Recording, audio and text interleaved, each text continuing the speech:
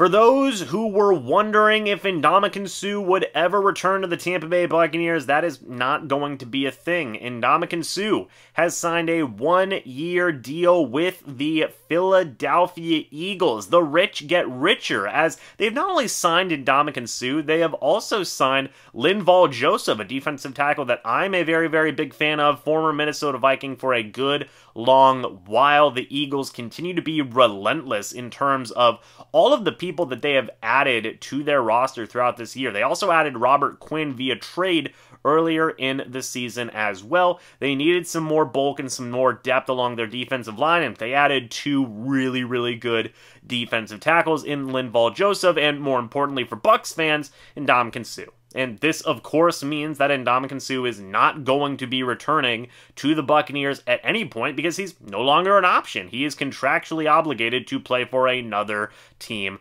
now. And this may be upsetting to some people, maybe it won't be, depending on what your thoughts and opinions are of the current defensive front seven and maybe how guys like Akiem Hicks and Logan Hall have been doing. In my opinion, I think Akiem Hicks has been a very great addition to this Buccaneers defense whenever he is healthy. And that is a big if, that is a big question mark, but whenever Hicks is out there, he's been fantastic. And I really think that he has done a phenomenal job in helping out guys not just the inside and outside linebackers, but especially a guy like Vita Vea, who I talked about in a previous video, is putting up the best stats of his career so far. And I think a really big helping hand to that is a guy like Akiem Hicks. I'm not saying that Ndamukong Suh couldn't have helped similar production out of a guy like Vita Vea, but you know, we are seeing that proof right now with Akiem Hicks that when Hicks is out there, Vita Vea is eaten, and the defense is playing a lot better. So I think the Buccaneers are still in a very, very, very good position with Hicks, and I think that they don't regret that signing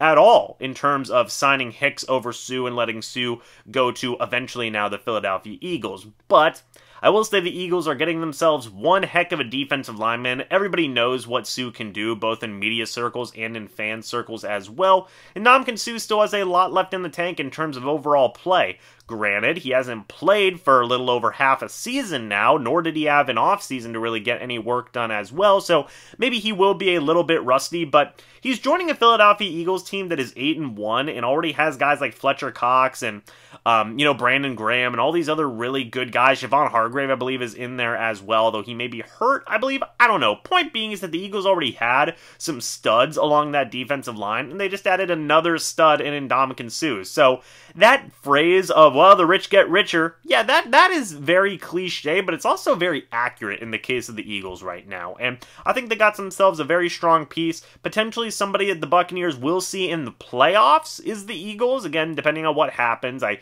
Still think the Buccaneers have a very, very solid chance to make the playoffs and win the division.